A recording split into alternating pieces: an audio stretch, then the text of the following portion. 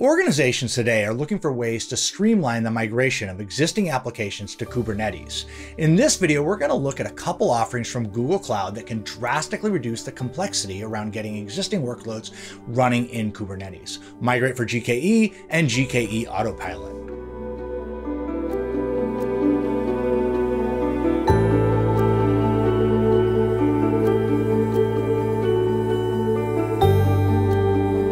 Let's start with a brief overview of GKE Autopilot.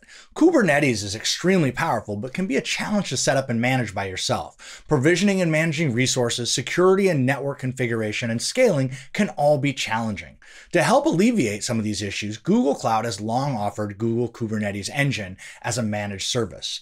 By using GKE in standard mode, customers still provision and manage the underlying infrastructure, but the vast majority of the configuration is handled by Google. This is a great solution for customers who still want to maintain a degree of control. For example, if they want to use GPU instances. However, for customers who want to run mainstream workloads and don't want to worry about configuring infrastructure, Google Cloud recently introduced GKE Autopilot.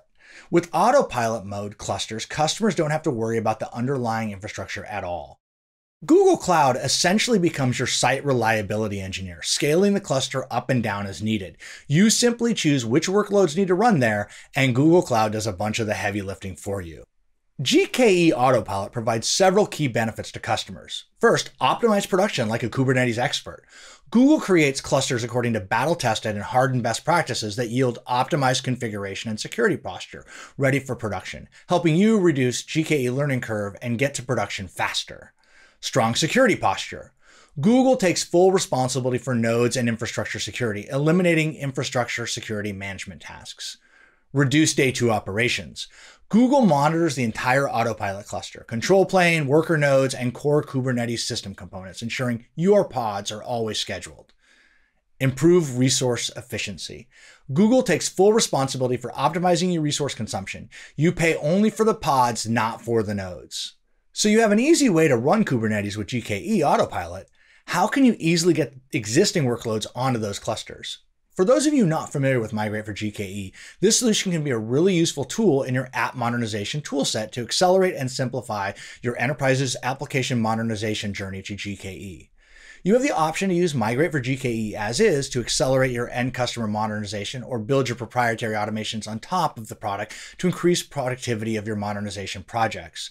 Either way, it can drastically reduce the time it takes to move workloads from VMs into containers. When looking at migrating an existing workload, there are four discrete steps that you'll want to go through. First is discovery and assessment. Migrate has a fit assessment tool that can be used to help identify what workloads you have running and which are the best candidate for migration. Look into the fit assessment tool video for more information. Next is setup and planning. Migrated workloads can run on GKE in standard or autopilot mode, as well as on Anthos and even Cloud Run. Additionally, you can orchestrate migration pipelines to help automate the migration process. In this video, we're focused on the third phase, so I won't spend a lot of time here. The final phase deals with how you manage applications after they have been migrated. Because Migrate for GKE provides you with the resulting Docker file, you can easily manage updates to your code via standard deployment pipelines. Drilling down a bit into the steps associated with that third phase, and what you'll see in the upcoming demo, is the general migrate for GKE workflow when it comes to an actual migration. First, we're going to create a GKE autopilot cluster. Then we're going to provide migrate for GKE a source VM. The migration processes will inspect the VM and then generate a migration plan that we can edit as needed. From there, it will generate the deployment artifacts, including a Docker container. We'll then deploy that container onto our autopilot cluster. With that, let's jump into our demo. We'll start the demo by building out our autopilot cluster. Notice that all I need to do is provide a name for the cluster and the region in which it's going to run. And now that our cluster is up and running, we can move on to deploying our sample application. Okay, so let's deploy the Kubernetes YAML and notice that's creating a bunch of services. And while they're created, Autopilot is increasing the resource requirements automatically for us to address those new services. Now that that's running, let's check our pods. They're still in pending. Let's check them again here a little bit later and everything is up and running. So we can test the service now. I'm going to get the front end service IP address. I'm going to navigate into my web browser and you can see here the application is running. Let me go in. I'm going to buy an item and then I'm going to go ahead and check out, and you see everything working exactly as you would expect it to. The way the application works is every service except for the payment service is running in Kubernetes. The payment service is in a VM, and that's what we're going to migrate. But first, we need to stop that VM so we can migrate it. So let's do that now. To perform the actual migration, I switched over to migrate for containers and I'm going to click create migration. I'll give my migration a name. I'll select a source that I created earlier. It's a Linux VM. We'll give it that VM name and we're going to migrate the image. With that, I'll click create migration and this will go off. It'll take a little bit of time, so I'll speed up the video and I'll rejoin you when it's finished. Our migration is completed. So what I'm going to do now is I'm going to come in and I'm going to review and edit the migration plan that was generated. What we're going to do first is we're going to come in and make a change to this v2k service manager variable and set that to true. That lets, allows us to use the enhanced runtime to run on GKE Autopilot. And we're going to change the name of the image from payment service VM to payment service and the same thing for the Kubernetes service since it's no longer running in a VM. We'll generate our artifacts.